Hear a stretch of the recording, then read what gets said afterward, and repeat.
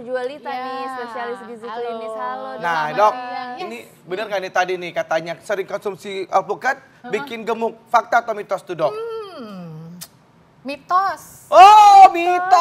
Tergantung Oh. makannya diapain Iya. alpukatnya. Kalau Oh, misalnya oke. kayak gini, Nah. tapi ini udah manis loh dok. Ya iya, karena ini Ini. biasanya kan dia di, ini es teler kan? Iya. Nah, kalau es teler dicampur apa? Gula, Gula, ada. susu kental manis. Iya, ah. benar. Waduh. Berarti Jadi- bener nih. Iya, Kalau- sebetulnya gini, mitos. Ini mitos, mitos, mitos. Kalau mitos. iya, jadi jadi kalau dicampur-campur itu jadi baru bikin fakta ya, baru jadi fakta ya. Orang-orang itu biasanya kalau makan alpukat dia temennya yang jahat. Mm-mm. Temennya apa sih? Susu kental manis Iya. lah, gula, susu yang manis-manis Iya. gitu ya, atau Mm-mm. gula aren. Iya. Biasanya kan orang konsumsinya kayak gitu. Tapi sebetulnya Iya. kalau misalnya kita makan si alpukatnya ini cuman kita ancurin, Iya. terus kita taruh Tanpa di atas apa-apa. tanpa apa-apa, Mm-mm. sebetulnya dia bisa dibilang nggak tinggi kalori sih. Oh. Kira-kira kalau segini ya, ini per 100 gram lah kira-kira. Per 100 gram kalorinya sekitar 100 kalori juga. Nah, makannya ya kita harus hati-hati. Kalau setengah aja, kemudian setengahnya ini kita potong tipis-tipis gitu ya, terus taruh di atas toast biasanya. Toast tuh mm. uh, roti dipanggang. panggang, Nah, mm. nah, itu bisa. Oh, gitu. Heeh. Oke, ini ada Baik. juga nih dok. Ya. Masyarakat beranggapan bahwa buah alpukat ini buah yang tinggi lemak dok. Ini fakta atau mitos? Fakta. Oh, tinggi Fakta. lemak, lemak Tinggi jahat, lemak. lemak Nah. baik, Bu. Lemak itu kan ada dua, lemak jahat, lemak baik. Nah, Iya. yang ada di alpukat ini luar biasa ini lemaknya lemak baik. Dua lemak Nah, baik. Jadi 80% kandungannya memang dia lemak. Dan 70% dari kandungannya tersebut adalah lemaknya lemak yang baik. Mm-mm. Lemak baik ini gunanya banyak banget. Yang pertama, dia itu bisa membantu kerja hormon insulin di tempat bekerjanya, reseptornya. Kan kalau orang gula darahnya tinggi, Iya. itu kan karena insulinnya kerjanya nggak bagus kan di Mm, tempatnya. mm, Nah, si lemak baik ini dia bantu supaya kerjanya lebih bagus. Oke. Kayak gitu. Hmm, Berarti Baik, baik Dok. untuk penderita diabetes juga ya dok Ah, ya? ah. Nah, ini berarti juga baik juga dong untuk eh, apa penderita Diabetes. penyakit jantung, Hmm, jantung penyakit juga. jantung, iya. Itu fakta atau mitos tuh, Dok? Fakta. Fakta. Fakta.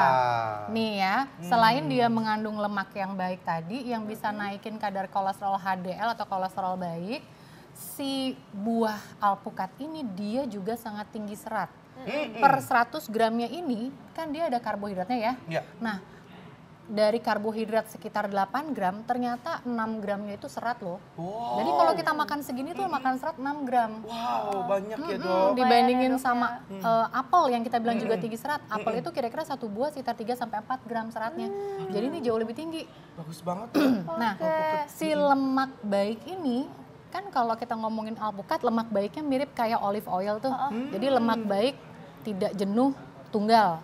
Sama-sama bagus, tapi kalau tambah serat. Kan kalau di olive oil kan nggak ada seratnya kan? Iya, Nah, ini kalau yang tambah ini serat. mm-mm, jadi Bagus sehat dong. banget. Nah, ini selain itu nih dok, ini katanya Iya. masyarakat juga berpendapat bahwa tekanan darah bisa dinormalkan dengan konsumsi avokat nih dok. Mm-mm. Ini fakta atau mitos? Fakta. Oh, Membantu ya, membantu. gimana caranya, Dok? Jadi si alpukat ini dia mengandung yang namanya kalium sama magnesium. Kalium dan magnesium. Ah, nah Oh. dua hal ini memang dia ngebantu tuh Uh-uh. untuk menurunkan tekanan darah, tapi Oh. sifatnya membantu. Pada orang yang memang dia udah punya tekanan darah tinggi Saya, harus Dok. minum obat. Eh, Bener, Dok. Ada. Tapi nggak Nah. sampai harus minum apa sih, Dok? Oke. Cuman kalau di tensi itu pasti harusnya di atas terus tuh. Yang tergantung tanggal nggak? Nggak juga sih, Dok. Ya? Tergantung mood ya, Dok.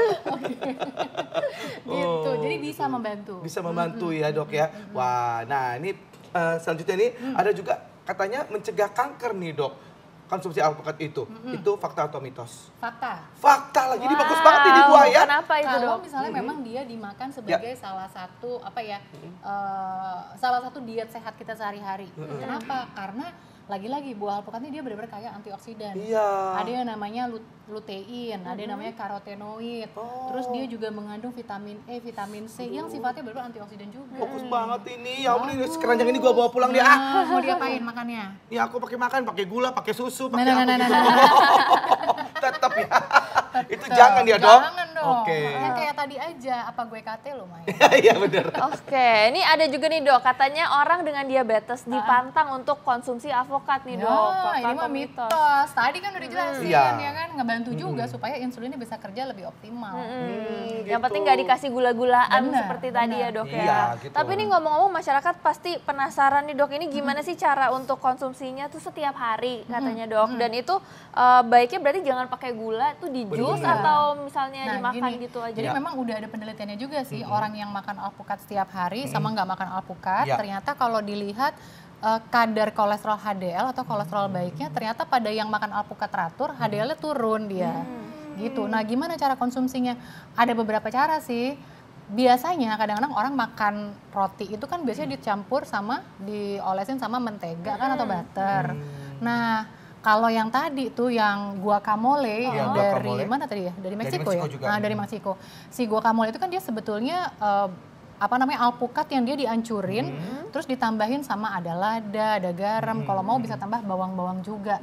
Nah, itu biar bisa jadi alternatif untuk pengganti mentega atau butter. Oh Dan gitu. gurihnya juga dapat ya, Gurihnya juga ya? dapat. Jadi memang ada beberapa orang Ya. yang dia cenderung lebih suka tekstur creamy. Ya. Supaya bisa dapat creamy-nya juga pakai guacamole tadi itu boleh. Oke dok. Gitu. Wah. Atau dibikin yang tadi terakhir es krim. Es krim juga Ah, bagus tuh pakai tadi ya. susu skim. Nah, Susu skimnya tapi ya yang rendah Tidak Lemak. tanpa lemak. tanpa lemak. Baik. Terima kasih banyak dok. Sama-sama. Nah,